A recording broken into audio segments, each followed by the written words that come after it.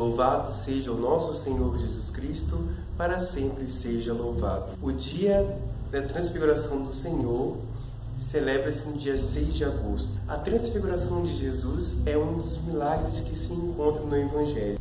É um dos cinco marcos da vida de Cristo. Neste milagre aconteceu a transfiguração de Jesus no topo da montanha chamado Tabor.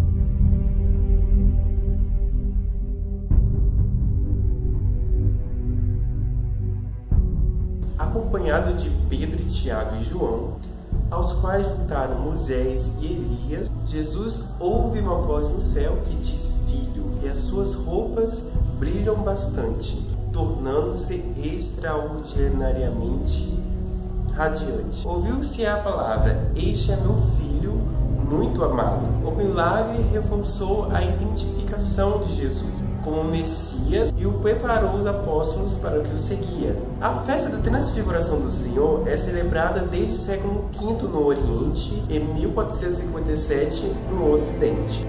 E não se esqueça, Deus em tudo e sempre.